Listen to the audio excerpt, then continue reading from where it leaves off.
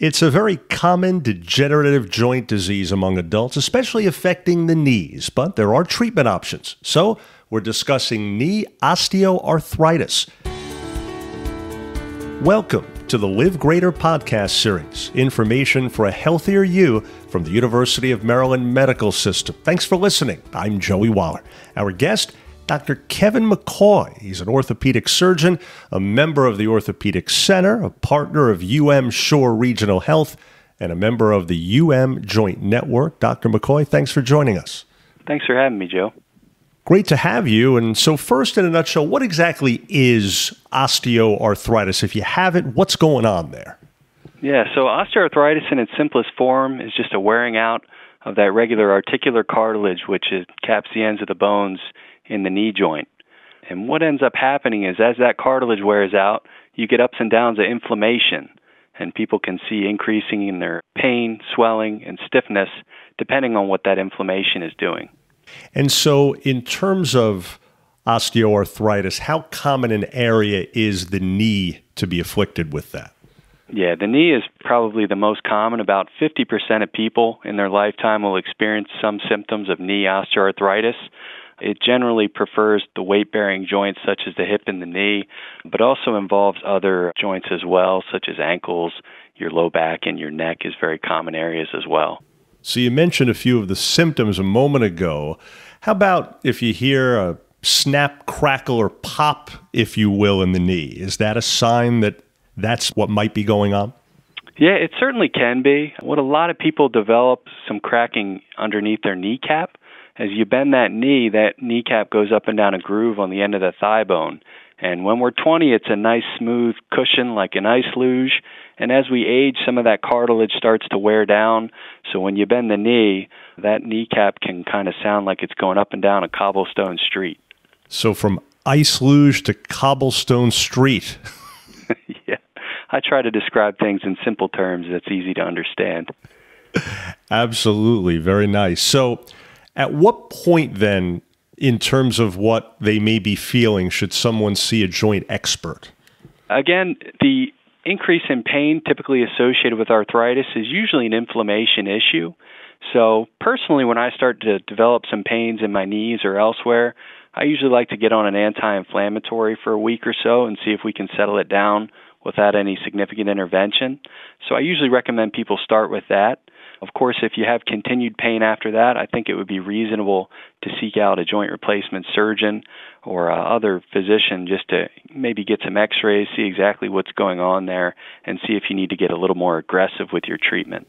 I'm going to ask you more about that option in a moment, but first, how about the difference between osteoarthritis and rheumatoid arthritis and how each affects the knee? Both of them at the end of the day lead to the degradation of the cartilage, like I talked about. Osteoarthritis is just good old fashioned arthritis. It has a genetic component, but there's certainly a wear and tear component as well. Rheumatoid arthritis is a little bit different in that it's actually an autoimmune disorder.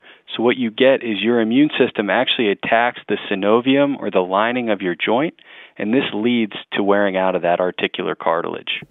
So, it's really not so much necessarily what you're doing or not doing on those knees during the course of your life, it seems like, as much as these joints are just typically not meant to hold up 100% over a full lifespan, right? There's certainly a genetic component to this, so in some sense, there's not much you can do. But there's also other disorders such as injuries you might have had when growing up, wear and tear. If you like to do impact activities such as running, sometimes this can lead to arthritis down the line. So, in terms of treatment options, getting back to that, you mentioned anti inflammatory meds. Will that lessen pain? Will that remove it? What can people expect? Anti inflammatory medications for short periods of time, I think, is a reasonable option. And the idea is as you decrease that inflammation, it should decrease your discomfort there's also other modalities such as icing or using a soft knee brace or maybe modifying your activities for a short period of time that may help things settle down. Injections are also another option. We use steroid quite frequently. It's been around a long time. It works quite well. And it's a reasonable thing to do two or three times a year as needed. There's also viscosupplementation injections. A lot of people group them into gel injections, as they're called. They're expensive. The studies really haven't shown them to be any better than steroid, but certainly in some patients, they can lead to some significant benefit. And so you mentioned earlier that surgery can also be an option. If so, if that's called for, what exactly can you do there? For the most part, in terms of arthritis, you really need some type of arthroplasty or replacement. There are some patients that are good candidates for a partial replacement if you have arthritis isolated to one of the three compartments in the knee. More often than not, what is necessary is a total knee replacement where we end up resurfacing all the articulations within the knee with metal and plastic. It's certainly a significant undertaking. It takes about an hour and a half to do the surgery, and it is an extended recovery. It takes about three months to recover, involves a lot of physical therapy. So, hoping not to get to that point if possible, how about ways of preventing OA in the knees during the course of our day if we're not there yet? What can we do to ward this off? Unfortunately, there's not a whole lot you can do to ward off OA. Certainly, keeping your weight as low as possible can help. For every pound that you have, your knee actually sees four or five pounds during regular everyday activities. So, keeping your weight as low as possible can help.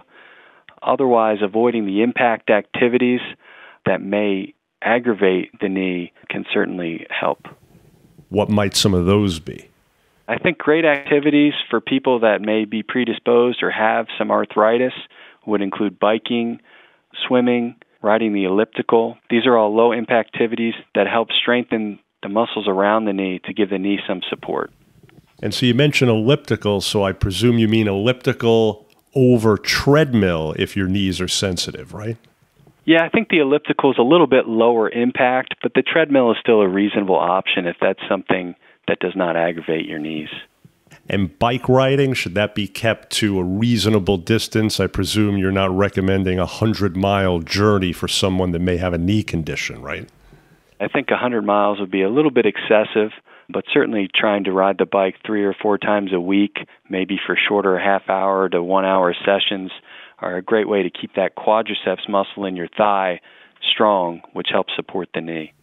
How about when someone has osteoarthritis in one knee, how often will they then, if not at the same time, eventually have it in the other knee? Do the left and right usually go together or not necessarily?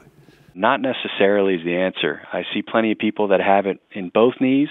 I see plenty of people that just have it in one knee and the other knee really looks great.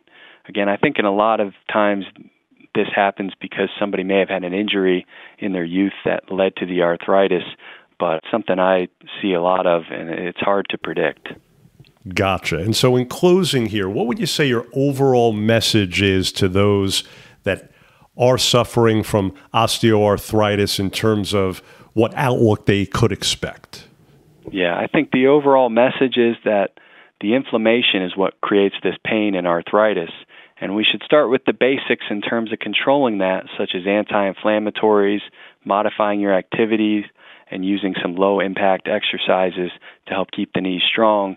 If you need to get more aggressive, something like injections or physical therapy can help. And the knee replacement is really a last resort for somebody that's failed all the conservative treatment modalities. Well, folks, we trust you're now more familiar with osteoarthritis in the knee. Dr. Kevin McCoy, thanks again so much. Thank you. And you can hear more shows just like this one at umms.org forward slash podcast. Again, umms.org forward slash podcast. Now, if you found this podcast helpful, please do share it on your social media. And thanks for listening to Live Greater, a health and wellness podcast brought to you by the University of Maryland Medical System. We look forward to you joining us again, hoping your health is good health. I'm Joey Wall.